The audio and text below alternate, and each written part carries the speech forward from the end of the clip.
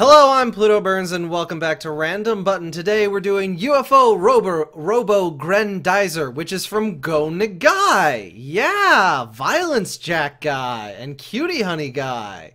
This one's about giant robots, which is based uh, violence, tits, and robots. That's uh, Go Nagai's wheelhouse. Alright, so we got a guy and a robot with horns, because it's going to charge into walls like walls like a bull. Walls like a bull? Blah, blah, blah, blah. Guy got a guy wearing a helmet. There's that robot head again. Grendizer. Okay, there's only five chapters. UFO Robo Grendizer, the man who came from space. Don't you mean the robot that jumped out of a spaceship above Earth? That's what I'm seeing right now. Oh no, we've got UFO attack. Wait, what? Okay, so we've already got combining robots or transforming robots? Okay, so the UFOs turned into robots with, like, spike wheels for shoulders. We're off to a great start already, people. and then, is that is that Grendizer getting the crap beaten out of him by other Venus flytrap-like robots? Yeah, yeah, he's getting eaten by a bird robot. But, okay, um, then he morphs out of his shell thing. Okay, so the other two, the shells are part of their body, but for him, it's just sort of like a flight suit. Oh, took off an arm with that attack. Guillotine hands. There, there has still not been a line of dialogue, and we are on page 8.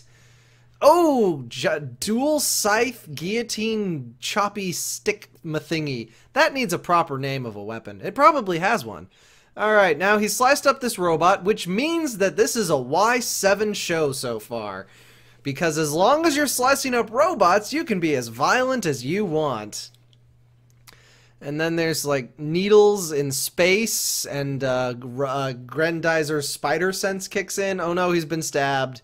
And now the spiky arms are turning into wheels. I'm just reading what I'm seeing here, people. Like, I, uh, what kind of commentary do you want? I, he's got a Dr. Wily mustache. Yeah, okay, that robot has a Dr. Wily mustache. Rocket fist, rocket fist. Oh no, it didn't launch. It just, it's just a punch. I mean, that's still pretty awesome. oh, it was a spinny fist. It was a corkscrew punch.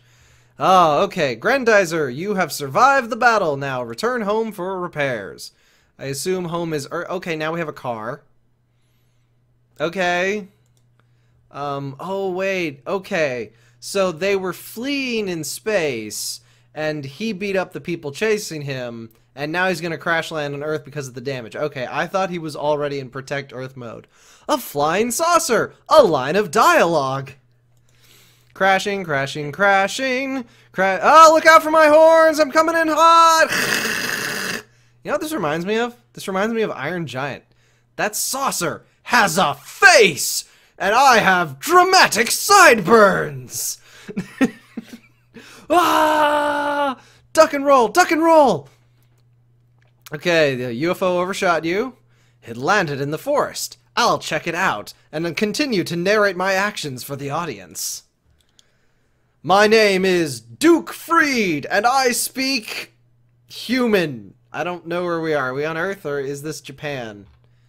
Okay, so he crash landed, and Grendizer is a piloted robot, not a living robot, so Iron Giant's out now. Sorry, people. I guess now we're more like uh, the last Starfighter, maybe? Uh, would eventually lead me into a hellish war. Well, spoiler alert, manga the Space Observation Laboratory. That looks more like a death laser pointed at the sky.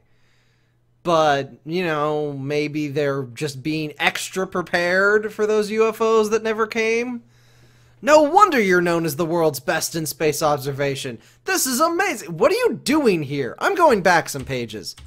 Okay, so you is this a flashback or is this like you jumped forward and are talking to someone about the UFO that you just bumped into last night. Answers, please.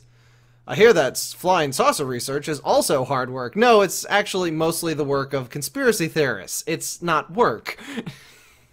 it's embarrassing to be praised by such a famous researcher. Ah ha ha ha ha ha ha. Awkward laughing.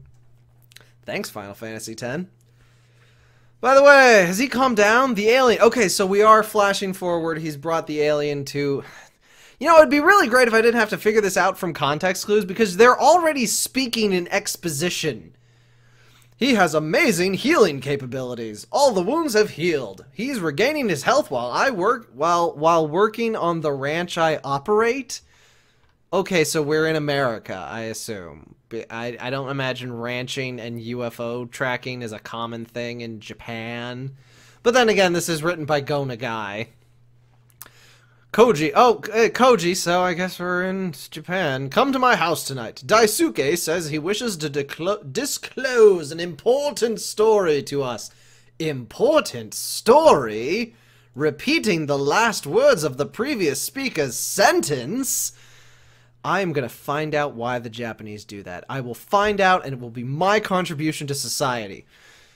It seems like something that relates to the Earth's peril. Oh, peril. Now we've got peril. Now I'm getting interested. And now there's a woman in a bonnet chasing after the hot alien guy on horseback eh, with the sun setting behind them. What genre is this? Is this alien or western? How so? Alias, Daisuke Umon. You're riding, of course. Not too long ago you couldn't ride, but now you're better than I am. He's been here for less than a day. Or has he been here for more than one day? Oh no, it's the creepy grandpa from... Oh god, Cutie Honey's creepy grandpa. And uh, stop reusing your character designs and her perverted nephew.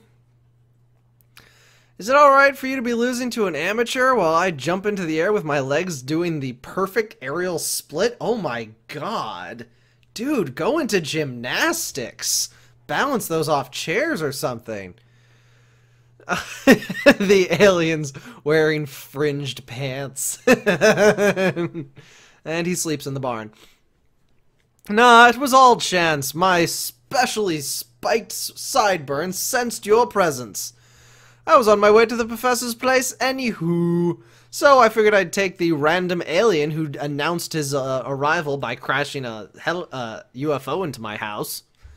A fearful enemy is coming to Earth, the Demon King who destroyed my homeworld. Okay, Emperor Vega's flying saucer fleet. So we've got demons, flying saucers, and cowboys. Uh, again, I just have to say, pick a goddamn genre!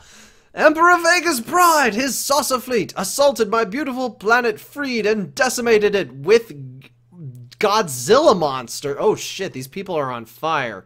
Holy shit. Okay, Y7 rating taken away. I, Planet Freed's prince, escaped with what can be called the pinnacle of our technology. The mighty UFO Robo Grandizer! UFO Robo Grand- He did it again! He did it again! I can at least understand why you need clarification on what the fuck UFO Robo Grandizer is, but the last time he did it, it was just normal sentences! People insist on repeating the last words of normal sentences. I had only one destination, the planet that the Emperor would head for after Freed. So there's no habited, inhabited planets between here and wherever the fuck Freed is. The Emperor is now trying to annihilate Earth, and UFOs are approaching Earth. We're gonna have to call the guy from asteroids. Planet Vega military mothership, Earth th thanks for- wow, that is, um... A mouthful. You stay quiet out there. no, um, I was saying he's got really long arms. I think this guy might be related to Slenderman. Saucer beast, attack the earth. Okay, so is it a saucer or is it a beast? If it's both, we need to have a discussion about how it can be a machine and a monster at the same time. Okay, so the flying saucer turned into Gamera, Oh no, the blood curdling saucer. Not not Gamera, the blood curdling saucer. And that was the end of chapter 1. Okay, um this is so 70s manga. Like I can't even begin to describe to you how much of a throwback this is. Um but you know, in that sense the storytelling's got a good pace. Like I read Cutie Honey and Cutie Honey takes for goddamn ever to get to the action because they insist on spending like half the manga with stupid shenanigans at like high school. And this is just like UFOs fighting in space, and then 10 pages later, maybe some talking. So, um, if you're in for a throwback and you uh, like giant robots, yeah, no, check out this. It's uh, not bad.